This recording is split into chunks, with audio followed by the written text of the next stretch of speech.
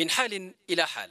مقولة يجسدها الواقع الإنساني لمأساة تعيشها هذه الأيام الحاج عواطف عبد الله البالغة من العمر ستين عاما بسبب السيول والفيضانات التي اجتاحت بيتها شرقي العاصمة السودانية الخرطوم.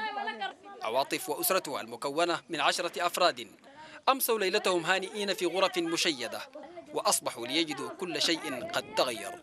منتظر ادوني خيم وادونا آكل وشطفوا لنا الموية دي.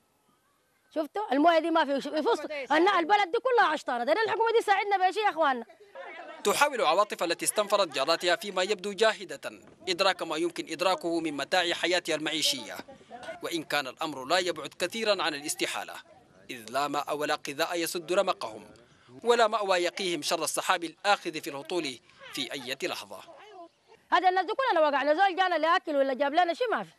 ما في زول جاب لنا شيء غياب مؤسسات الدولة المعنية بدرء الكوارث ومجابهتها عن أسرة عواطف الخاصة يقابله حضور الأهل ومساعدة الجيران. حال عواطف وأسرتها كحال المئات من الأسر الأخرى.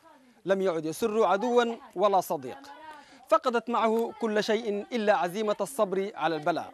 ثلاثة أيام مضت حتى الآن على مأساتها وهي تطلب الغوث فهل من مجيب؟ لا من مغيث ربما سوى مثل هذه المبادرة الشبابية الإنسانية التي سميت بالنفير والتي انطلقت من هذا المكان وسط العاصمة السودانية الخرطوم. مبادرة تقودها كما هو الحال هذه الأيام قطاعات الشباب التي تنظم نفسها عبر مواقع الفيسبوك وتويتر وغيرها. وهدفهم الشاغل هو غوث المتضررين من السيول والفيضانات. حاليا لأنه ما في أي مؤسسة من المؤسسات دي آه، عملت حاجة. يعني إحنا ما شفنا حاجة. يعني أو حتى المحاولات اللي إحنا شفناها كلها كانت محاولات ضعيفة. أكثر من إنه الدفاع المدني حول التليفونات ل- لرقم الطوارئ بتاع منظمه آه، مبادرة نفير ما في أكثر من كده ثاني الوضع مأساوي جدا واي أي زول بيقدر يساعد حقه إنه هو يساعد.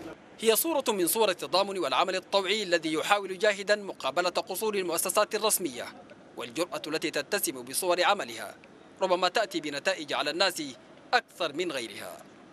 عبد الباقي العوض لبرنامج اليوم على الحرة الخرطوم.